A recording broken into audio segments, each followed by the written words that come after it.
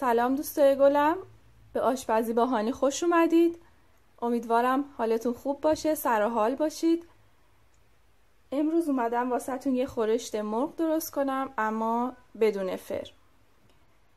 واسه این خورشت مرغ دو تا رون مرغ برداشتم یه پیاز متوسط یه حب سیر و تقریبا نصف فلفل دلمه. اول پیازمون رو سرخ می‌کنیم. یه کمی گذاشتم روغن داغ شده. و حالا پیازمون رو ریز ریز می‌کنیم.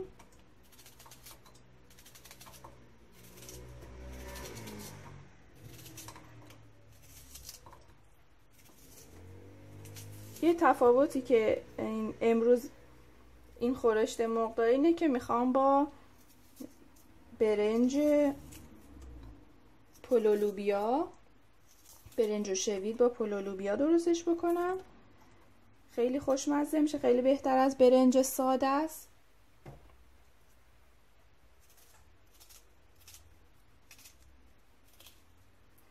امیدوارم که از ویدیوهای قبلی من استفاده کرده باشید و آموزش هم واسهتون مفید بوده باشه.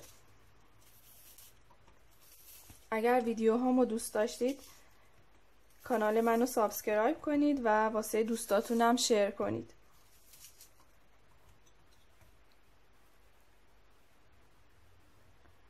خب پیاز رو بذارید یه کمی سرخ بشه. حالا بیاید یه پیمونه لوبیای چش بلبلی داریم که من شستم و پاکش کردم. یه قابلمه کوچیک بردارید. و بذارید این لوبیاها پخته بشه جداگونه. یه لیوان آبم بریزید روش و بذارید روی حرارت تا پخته بشه. پیازمون که سرخ شد مرغا رو بهش اضافه می‌کنیم.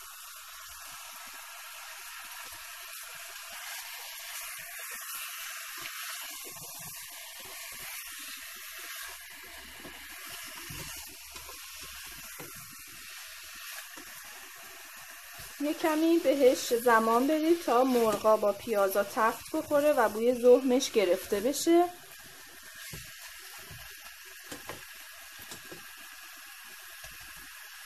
میایم ادویجاتمون هم اضافه می‌کنیم. نصف قاشق چای خوری زردچوبه.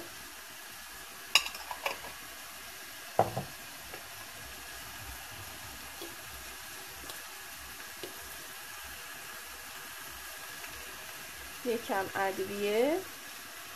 اونم نصف چا... قاشق چای خوری کافیه. نمک میریزیم.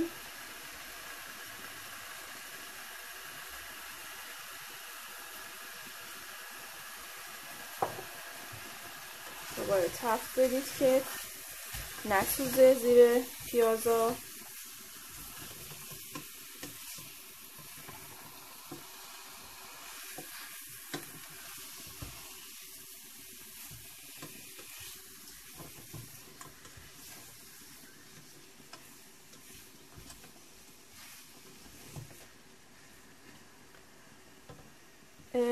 خورشت مرغ تنها خورشتیه که اول باید نمکش رو بریزیم. چرا؟ چون گوشت مرغ سریع حجمش کم میشه و آب میشه. به خاطر همین نمک رو اول پخت بهش می‌زنیم.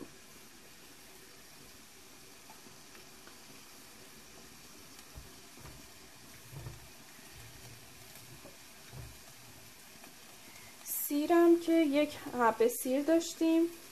اونم اضافه می‌کنیم اگر که دوست دارید که سیر رو همراه خورشت بخورید رندش کنید. اگر بعد می‌خواید درش بیارید از توی خورش یه قاش بهش بزنید کافیه. فلفل دلمه ها هم همینطور. اگر که می‌خواید بعدا درشون بیارید تیکه های بزرگ قاش بزنید که راحت برداشته بشه. اگر نمی‌خواید بخورید که خب ریز ریزش هم بکنید اشکالی نداره. ولی من بعدا می‌خوام درش بیارم. چون وقتی که فلفل دلمه پخته میشه گوشت و پوستش از هم جدا میشه و یه جورایی وا میره توی خورشت. به خاطر همین اگر که فرم خورشتتون رو به هم زد می‌تونید درشون بیارید. چرا فلفل دلمه اضافه می‌کنم؟ به خاطر اینکه هم ویتامین داره ویتامینش میره تو آب خورشت و اینکه بوی بهتری به غذامون میده. خیلی ها به بوی زهم مرغ، تخم مرغ و گوشت حساس هستن. می‌تونن این کارو بکنن. خیلی غذاشون طعم و عطر بهتری می‌گیره.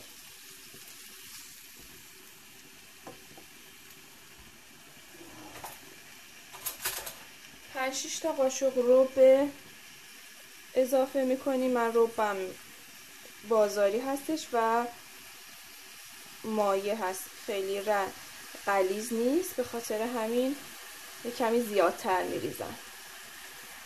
ولی شما اگه از رو به خونگی استفاده می‌کنید یکی دو تا قاشق کافیه. به غذاتون رنگ کافی رو میده.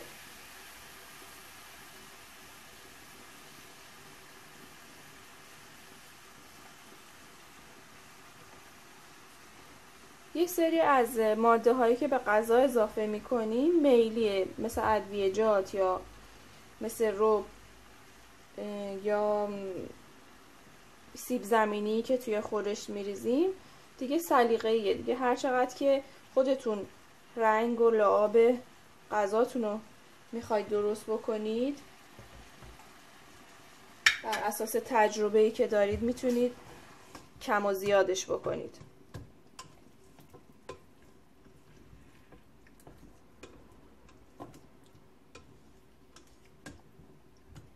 من الان احساس می‌کنم که بازم باید روب بریزم.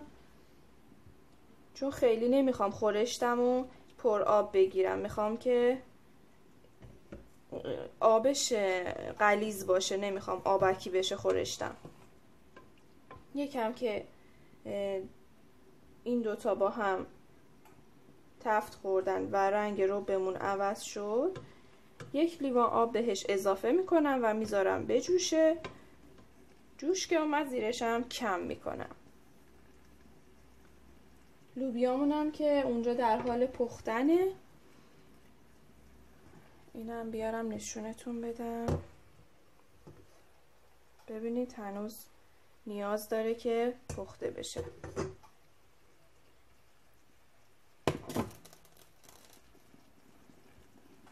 یه کمی درش رو بذارید.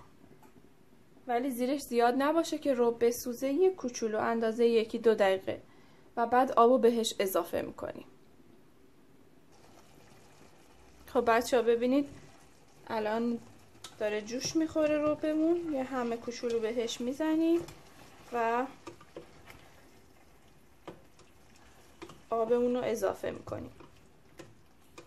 یه لیوان آب کافیه.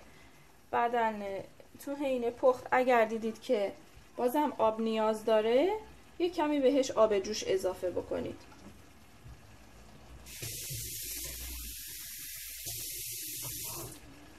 هرچی که آب خورشت مرغمون قلیستر باشه خیلی طعم خوشمزه تری داره.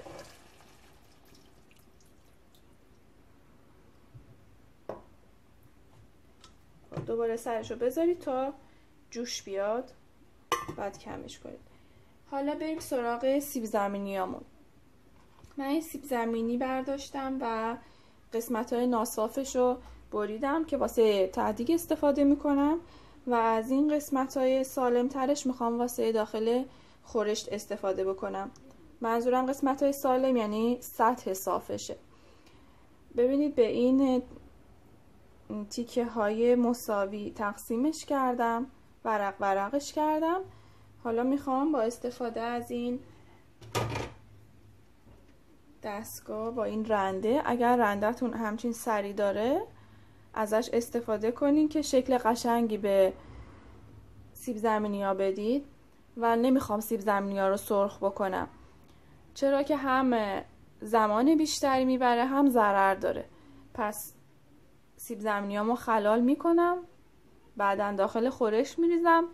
یه کوچولو می‌تونیم بچه ها رو گول بزنیم که یعنی اینا سیب زمینی سرخ کرده است. هرچند که گول نمی‌خورن ولی خب شکل قشنگی میده بهش و آب خورشت میره توی سیب زمینی طعمش رو خوب می‌کنه. هر سه تا ورقش رو بذارید روی همدیگه و یه کمی با فشار دست با فاصله های منظم ببریدش. دوستای خوبم شکل غذا و رنگ غذا خیلی توی ذائقه تاثیر داره خیلی توی اشتها تاثیر داره. اهمیت بدین به شکل غذا. ببینید غذا رو حتما با کمترین امکاناتی که هرچی که دارید کمترین امکاناتی که دارید حتما تزیین کنید. هم خودتون دوست دارید هم خودتون کیف می‌کنید از این کار لذت می‌برید. هم واسه کسی که دارید غذا رو بهش می‌دید واسه خانوادهتون احساس می‌کنن که شما واقعا دارید به با علاقه این کار رو براشون انجام می‌دید. ببینید یک کار خیلی ساده ولی خب نتیجهش چندین برابر قشنگتر و بهتره وقتی که این کار رو می‌کنید. پس سیب زمینی هایی که واسه داخل خورشتمون می‌خوایم و این شکلی درست می‌کنیم. خیلی هم راحت. همش تقسیم شد. دیگه نمی‌خواد بشینید با دست خلال خلال بکنید. خیلی با سرعت کارتون رو پیش می‌بره.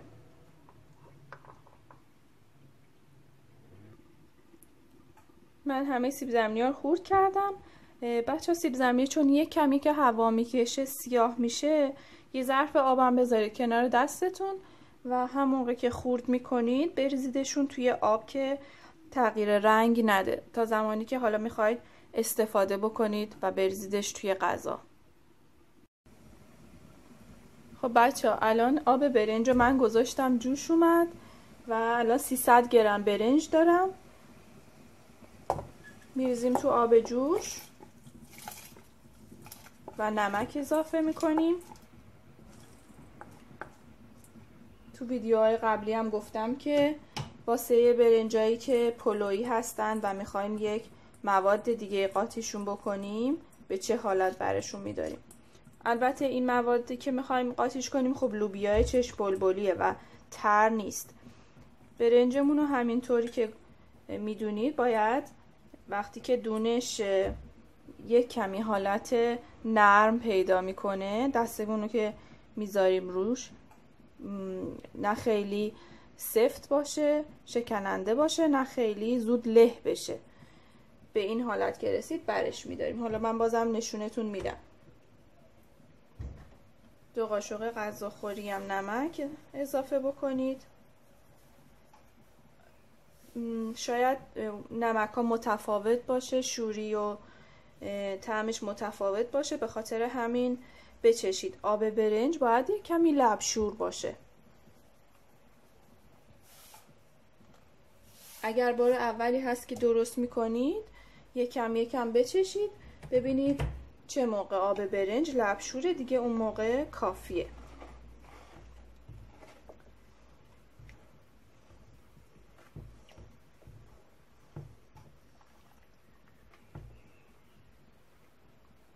از کف قابلمه هم بزنید که برنجا به کف قابلمه نچسبیده باشه. خب لوبیامونم پخته. من دیگه زیرشو خاموش کردم.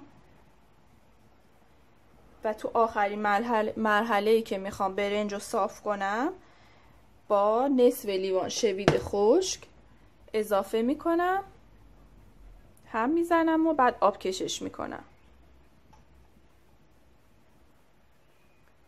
ببینید دونه لوبیاتونم به همین شکل. وقتی که با دست فشارش می‌دید نه خیلی سفته نه خیلی نرمه. وقتی که می‌خورید یک کمی هنوز پختن نیاز داره. وقتی که دم می‌ذاریم برنجو برنج داره دم می‌کشه. اون یه مقدار پختی هم که نیاز داره کامل میشه دیگه. و تعادلش برقرار میشه. نه لوبیای له شده داریم نه اینکه خام باشه. ببینید بچه ها الان زمان برداشتن برنجه. ببینید من فشارش میدم. نه خیلی له میشه. نه اینکه اینطوری مجبورم با ناخون بشکنمش نه با کف دستم. کاملا له میشه. در واقع نیم پخت دیگه. خب لوبیامون باید به چه شکل باشه؟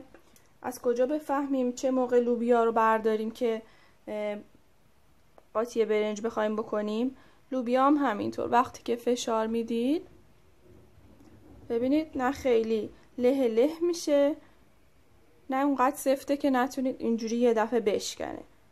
ببینید این مدلی. خودتون احساس می‌کنید. یک کمی دیگه پختن نیاز داره که این یک کم زمانم وقتی که برنج داره دم می‌کشه پختش به اندازه میشه. الان شویدمون رو اضافه می‌کنیم. چون الان دیگه هم شوید خشکمون هم برنج هم لوبیا اینا از ترکیب آب هم دیگه و بخاری که داره پختشون دیگه کامل میشه.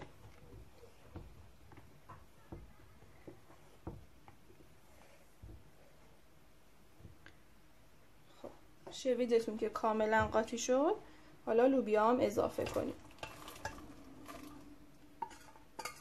اگر لوبیا رو می‌خواستیم همزمان با هم بپزیم آب برنج رو سیاه می‌کرد و رنگ قشنگی نمی‌داد بهش.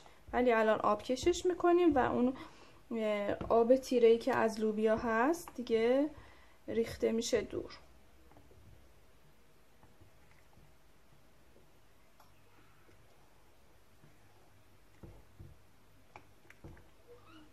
همه جاش هم با هم ترکیب میشه که دیگه همه مواد به یکسان قاطی همش هست.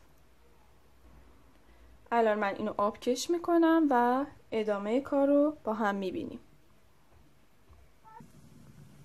خب بچه ها من رو صاف کردم و یه کمی روغن ریختم کف قابلمه و به جای تعدیگش اگر می‌خواین تعدیگ برنج داشته باشید یکم آب و روغن بذارید کف قابلمه. اگر تعدیگ نون یا سیب زمینی می‌خواید داشته باشید که فقط خب روغن بریزید. دیگه برنجمون کاری نداره. سر قابلمه رو بذارید. اگه دمکش دارید دمی بذارید. اگه هم که هیچ موقع نمی‌ذارید که خب اشکالی نداره. میریم سراغ خورشت مرغمون. چون الان 20 دقیقه زمان نیازه که من جای این دوتا رو عوض کنم. 20 دقیقه زمان نیازه که برنجمون دم بکشه. مرغمون هم دیگه اون موقع آماده است. الان وقت اضافه کردن چیه؟ فلفل. فلفل نریختیم فلفل میریزیم فلفل قرمز و فلفل سیاه. بعد سیب زمینی هم دیگه اضافه می‌کنیم. نمی‌خوایم سیب زمینیامون خیلی له بشن.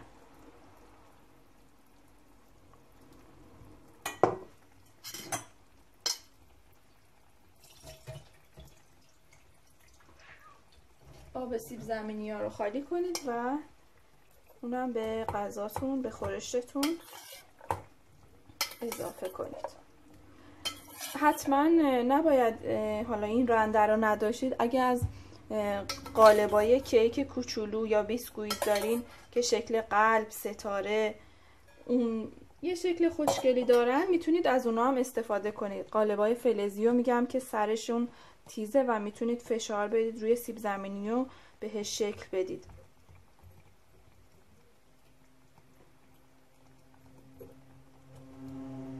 چون نازکشون کردیم سریع پخته میشن.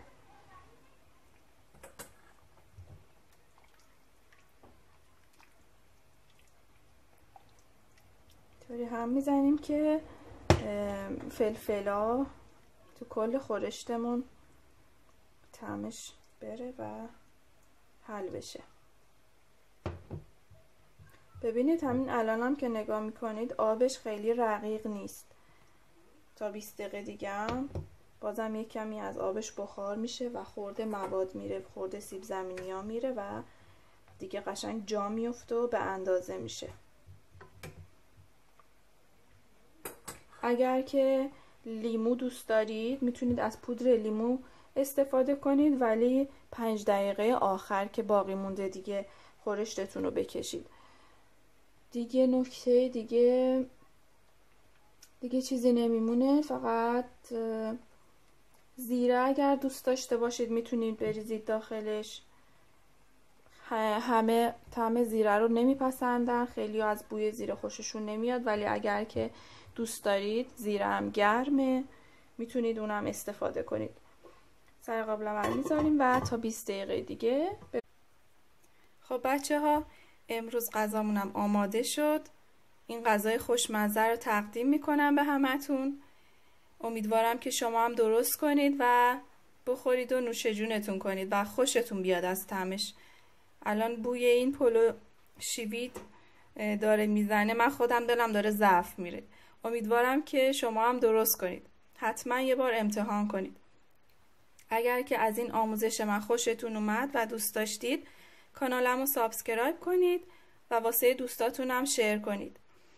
سعیم بر اینه که همیشه غذاهای خوشمزه و با بهترین و سالمترین روش رو بهتون آموزش بدم. امیدوارم که تو این مسیر منو همراهی کنید.